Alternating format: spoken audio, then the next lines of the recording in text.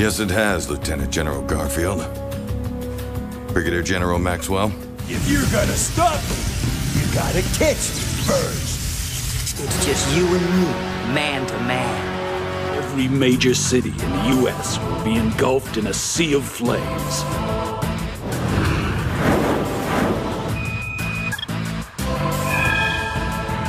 You two are gonna die here!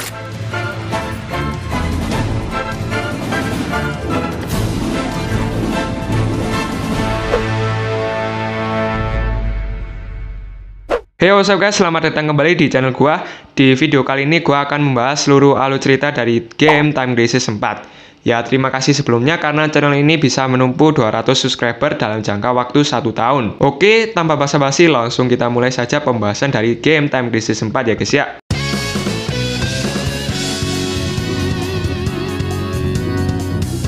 Time Crisis 4 rilis pada tanggal 20 Juni 2006 pada platform arcade Namco System Super 256. Kemudian Time Crisis 4 diport ke PS3 dengan grafis yang lebih HD pada tanggal 20 November 2007. Tiga tahun kemudian dengan rilisnya Time Crisis Rising Storm, dibuatlah bundle eksklusif game Time Crisis Rising Storm yang sudah termasuk dengan Time Crisis 4 dan Deathstorm Pirate.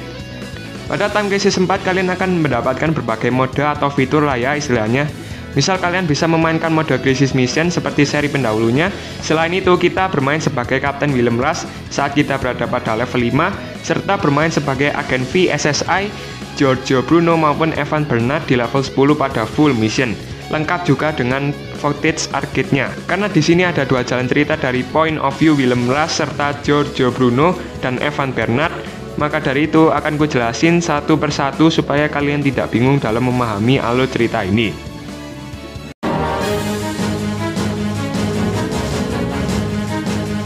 Nah, kita mulai alur cerita ini dengan point of view Giorgio Bruno dan Evan Bernard. Penjabat intelijen dari militer Amerika Serikat dan PSSI mempelajari mengenai senjata yang disembunyikan oleh teroris dan rencana mereka yang akan dilakukan. Di sini, Kapten Willem Rush menyusup ke dermaga terlebih dahulu untuk mengumpulkan beberapa informasi dari rencana teroris ini. Didapatkanlah suatu informasi bahwa musuh telah memiliki senjata biologik, yaitu hewan serangga dengan nama kodenya Terror Bite. Selain itu, musuh juga akan melakukan perdagangan senjata. Cerita diawali dengan latar tempat International Airport California pada jam 1.12 menit siang. Kemudian Willem Rush menuju bandara untuk membantu Giorgio dan Evan. Giorgio dan Evan telah masuk ke dalam bandara. Musuh memblokir seluruh rute yang ada di dalam bandara tersebut. Mereka terpaksa untuk melawan musuh yang ada di tempat itu. Setelah mereka membasmi sebagian musuh, lawan terpaksa mengeluarkan salah satu senjata biologik teror bite-nya, yaitu Might Bites. Mereka kehilangan kontak dengan kepala VSSI, dan untungnya mereka dibantu oleh William Rush untuk kabur dari serangan teror bite. Dengan bantuan melalui pesan suara dari Special Lieutenant Elizabeth Conway, mereka bertiga dapat mudah melawan seluruh musuh yang ada di area itu atas bantuannya. Kemudian mereka bertiga terpojok dan Ras meminta Giorgio dan Evan menahan musuhnya agar dia dapat membuka pintu selama 30 menit.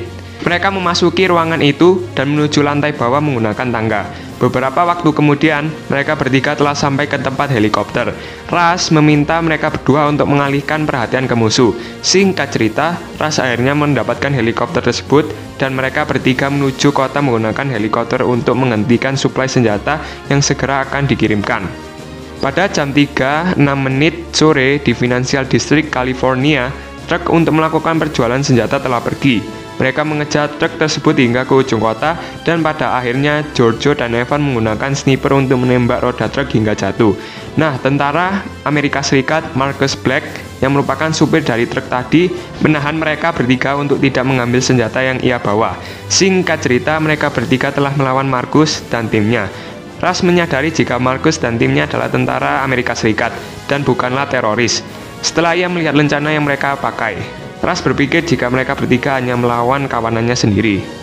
Keesokan harinya pada jam 5.45 menit pagi di Taman Nasional Wyoming, Giorgio, Evan, dan Kapten Ras memiliki misi untuk menyelidiki tempat fasilitas penelitian militer yang menyimpan teror bites dengan jumlah yang banyak. Saat mereka berada di dalam helikopter, seketika musuh meluncurkan rudal ke arah helikopter yang membuat mereka bertiga harus terjun dari helikopter. Mereka jatuh dan Elizabeth memberikan arahan atau petunjuk kepada mereka untuk pergi melalui goa yang di mana goa tersebut adalah jalan pintas menuju tempat fasilitas penelitian militer. Ras menumpahkan jalan keluar dari goa itu. Akan tetapi Giorgio dan Evan terjatuh akibat pasir hisap atau semacam longsor gitu guys. Terror Bite kemudian bermunculan dengan jenis rangga sama seperti sebelumnya. Di sisi lain, Ras membasmi sebagian musuh yang membendung jalan keluar. Kemudian mereka bertiga melawan musuh yang ada di hutan dan tibalah mereka di Biological Weapons Research Facility pada jam 10.53 menit pagi. Ternyata ada salah satu tentara rahasia Amerika Serikat yang menjaga tempat itu, Jack Matters.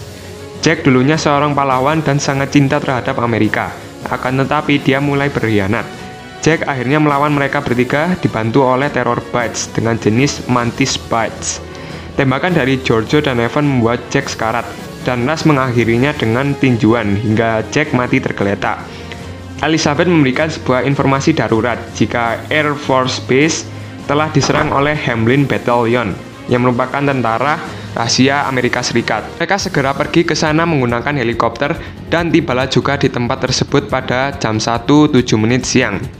Sebab kedatangan Hamlin Battalion dikarenakan adanya prototipe UCAV atau Unmanned Combat Aerial Vehicle yang disimpan di bawah pangkalan ini dengan julukan siluman canggih memuat bom dan misil di dalamnya. Jadi UCAV itu semacam jet tempur gitu guys bernama XA-60EX.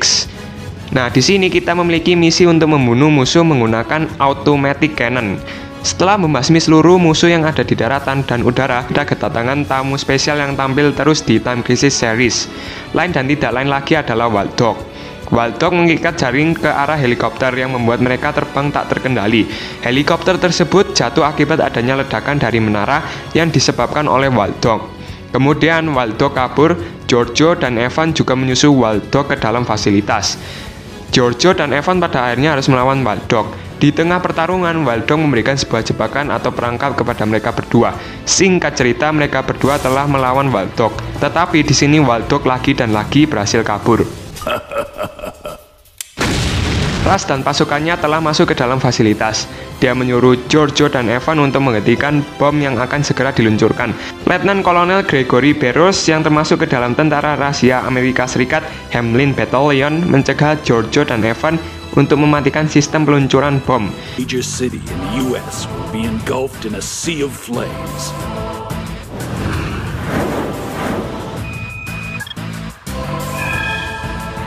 You two are gonna die here. Gregory yang hampir kewalahan menggunakan senjata lasernya untuk membasmi semua orang yang ada di fasilitas itu. Letak Gregory dan sistem peluncuran bom sangat tinggi, maka dari itu pasukan Las bekerjasama membuat tangga agar Giorgio dan Evan dapat mematikan sistem peluncuran bom sekaligus mengalahkan Gregory. Singkat cerita lagi, Gregory mati dan mereka berdua telah mematikan sistem peluncuran bom serta UCAV.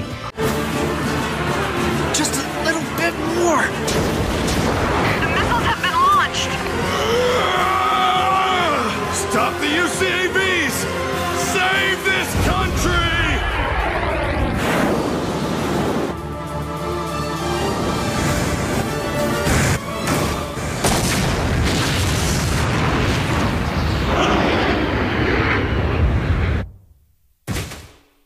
Man, that was close. Ending dari game Time Crisis 4 diakhiri dengan sambutan terima kasih dari pasukan Ras dan Elizabeth Conway.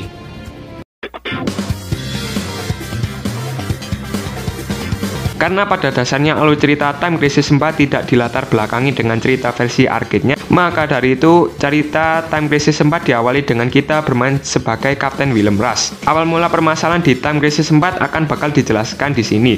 Ya, sedikit tambahan, apabila kalian mau bermain Time Crisis 4 dengan mode full versionnya, kalian diharuskan untuk membeli game Time Crisis 4 PS3 dan bukannya bundle dari game Time Crisis Racing Storm yang hanya mencakup versi arcade dari Time Crisis 4.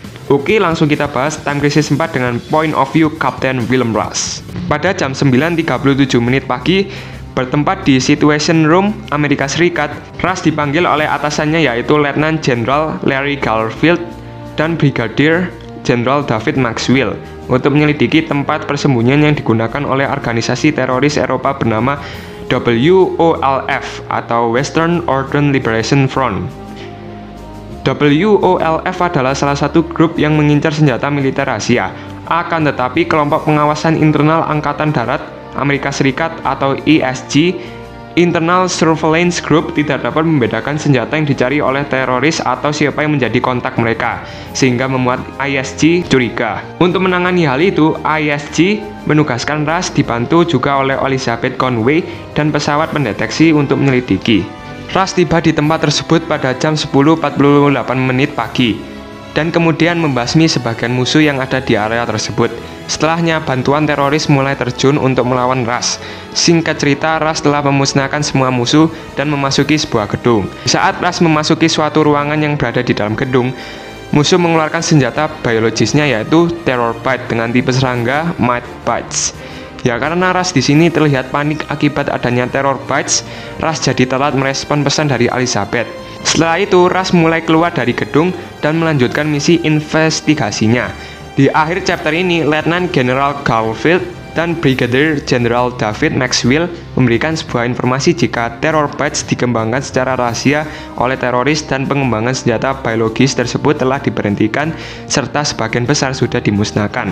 Ras kemudian ditugaskan untuk membantu dua agen VSSI, Giorgio dan Evan yang telah dikirimkan ke bandara yang ada di California pada siang hari. Kembali ke markas ISG, Letnan Garfield menjelaskan bahwa musuh yang berasal dari unit operasi khusus senjata biologis dikenal sebagai Hamlin Battalion Ras ditugaskan oleh atasannya untuk mengagalkan rencana musuh yang berada di Dam 18 atau Bendungan California sendirian walaupun dalam keadaan darurat. Tujuannya agar reputasi militer Amerika Serikat tidak rusak atau runtuh. Kemudian Elizabeth memberikan informasi jika musuh menggunakan senjata anti pesawat. Akibatnya Ras harus berpergian melalui daratan sampai ke bendungan. Ras tiba di bendungan pada jam 5.40 menit sore. Ras di sini bisa memakai UPD. UPD sendiri adalah semacam alat anti teror bat di mana kita bisa tahan dari serangan teror bat yang mau menyerang kita. Setelah perjalanan jauh dari luar bendungan hingga masuk ke dalam ruangan, Frank Matters yang merupakan tentara rahasia Amerika Serikat Hamlin Battalion mulai menyerang Ras dan pada akhirnya pertarungan dimenangkan oleh Ras. Frank Matters melakukan bom bunuh diri. Ras mengambil hard disk yang disimpan pada alat satelit komunikasi. Untungnya Elizabeth mengirimkan helikopter datang tepat waktu. Ras pergi dan bendungan hancur akibat ledakan.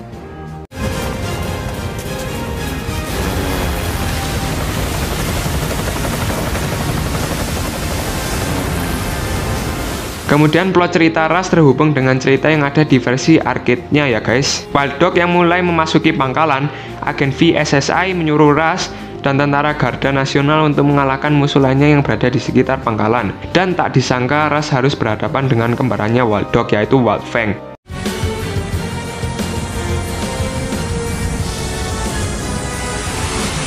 You're starting to get on my nerves.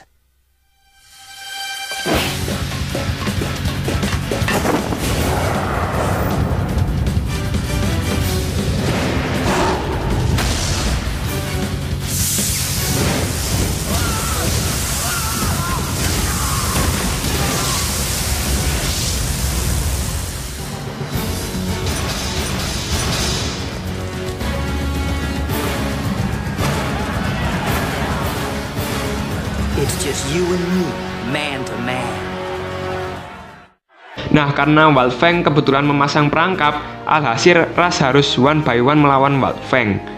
Perlawanan sengit pun terjadi, dan pada akhirnya pertarungan tetap dimenangkan oleh Ras dengan pukulan kerasnya.